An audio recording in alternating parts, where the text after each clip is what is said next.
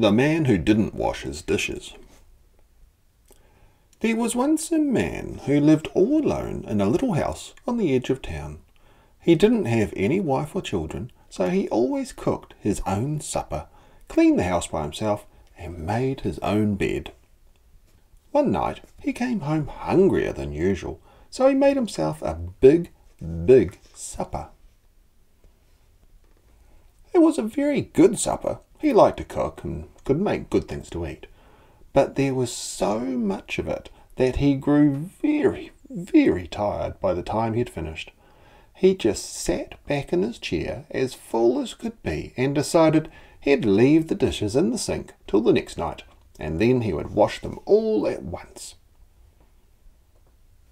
But the next night he was twice as hungry and so he cooked twice as big a supper, and took twice as long to eat it, and was twice as tired by the time he'd finished. So he left those dishes in the sink too. Well, as the days went by, he got hungrier and hungrier, and more and more tired, and so he never washed his dishes. After a while, there were so many dirty dishes they didn't all fit in the sink, so he began to pile them on the table. Soon the table was so full that he began to put them on his bookshelves. And when they were full, he put them just everywhere he could find an empty place. Soon he had them piled on the floor too.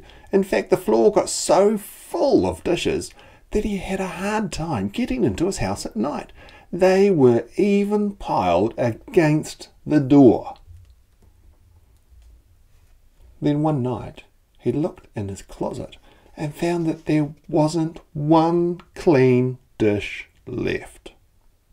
He was hungry enough to eat out of anything, so he ate out of the soap dish from the bathroom. It was too dirty for him to use again the next night, so he used one of his ashtrays.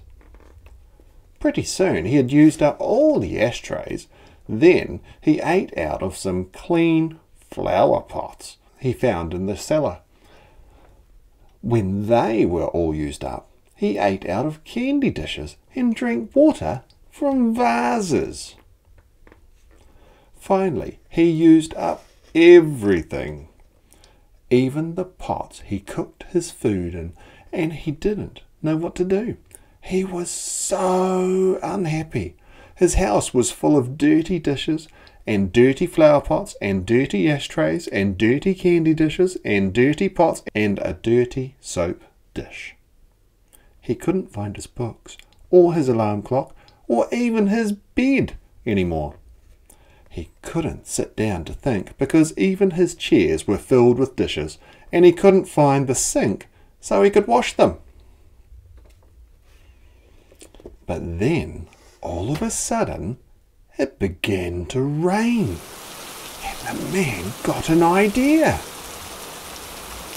He drove his big truck around to the side of the house and piled all the dishes on it and all the vases and all the flower pots and all the ashtrays and all the candy dishes and the soap dish and drove the truck out into the rain.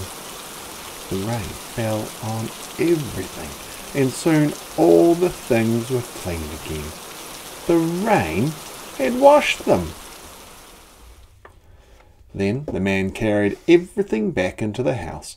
He put the dishes in the dish closet, and the pots in the pot closet, the ashtrays on the tables, the candy dishes on the shelves, the flower pots in the cellar, the vases in their places, and the soap dish in the bathroom. He was so very, very tired after carrying everything back and putting it away that he decided from then on he would always wash his dishes just as soon as he had finished his supper. The next night, when he came home, he cooked his supper, and when he had finished eating, he washed the dishes and put them right away.